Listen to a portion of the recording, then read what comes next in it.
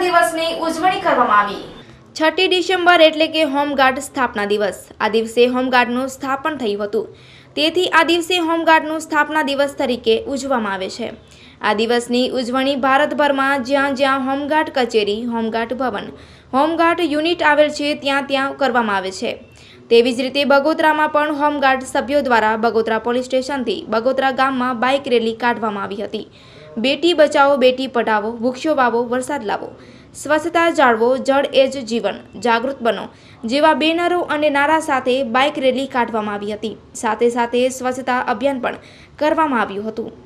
Report by Gohil Sohil Kumar.